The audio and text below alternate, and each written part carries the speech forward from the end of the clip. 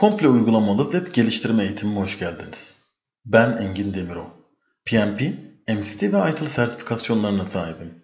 4.7 ortalamayla son dönemde Udemy'nin Türkiye'de en iyi eğitmen ortalamasına sahibim. Uzun soluklu olacak bu eğitimde iyi bir, iyi bir programcının yol haritasını oluşturmaya çalıştık. HTML5, CSS3, Bootstrap, JavaScript, Angular 7, C Sharp, nesne yönelimli programlama, ASP.NET MVC Framework, ASP.NET Core MVC Framework, ASP.NET Core MVC Web API yani RESTful servisler, Entity Framework Core, en katmanlı mimari, kurumsal mimari desenleri, kurumsal veri tabanı tasarımı ve mülakatlardan geçme tekniklerini bu eğitimde öğreneceksiniz.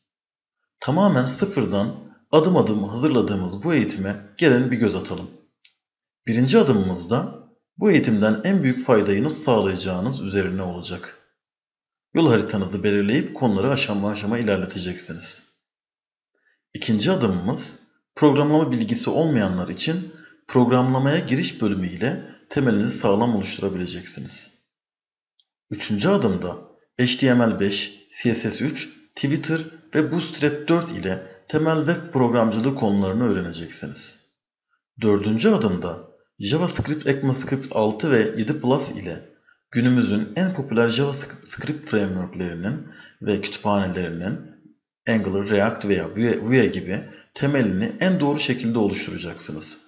Bu bölüm aynı zamanda programlama bilginizi bir üst seviyeye taşıyacak. Beşinci adımda TypeScript bölümü ile modern JavaScript framework'ü Angular için temel oluşturacaksınız. Altıncı adımda Angular 7 bölümü ile beraber en yaygın kullanılan JavaScript framework'ünü orta düzeye kadar öğreneceksiniz. Fakat proje bölümümüzde daha ileri konuları gelişmiş tekniklerle ve konularla gerçek hayatta kullanıldığı gibi öğreneceksiniz. 7. adımda ülkemizde en yaygın kullanılan iki dilden biri olan C Sharp ile sıfırdan başlayıp temel konuları öğreneceksiniz.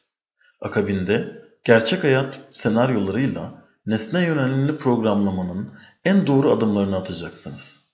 Interface, abstrak nesneleri sadece sintaks olarak değil, profesyonelce öğreneceksiniz. 8. adımımızda Adonet ile veri tabanı programlamaya başlayıp Adonet'in ORM hali olan Entity Framework ve Link ile veri tabanı programlamanın temellerini atacaksınız. Sonraki konularımız ve projelerimizde en ileri teknikleri öğreneceksiniz. 9. adımımızda 12 saatlik profesyonel bir içerikle sıfırdan klasik ASP.NET MVC Framework'ü öğreneceksiniz. Bu konuda en detaylı ve gerçekçi içeriği sunduk.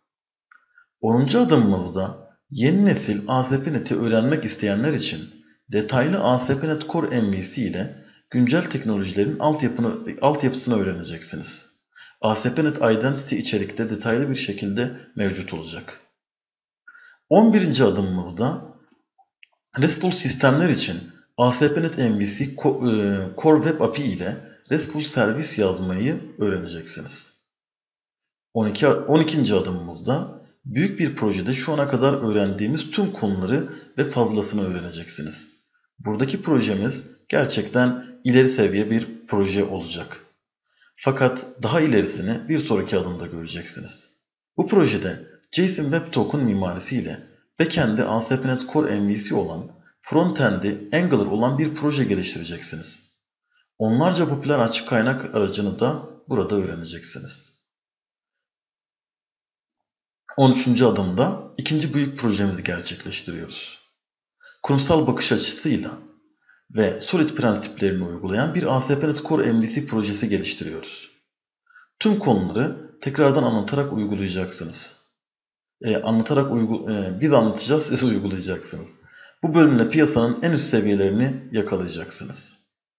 14. adımda iyi bir programlama seviyesine artık gelmiş oldunuz. Şimdi veri tabanı tasarımı bölümümüzde normalizasyon kurallarına göre veri tabanı nasıl tasarlanır öğreneceksiniz. Ve artık iyi bir noktaya geldik. Son adımda mülakatlara güvenle girebileceksiniz.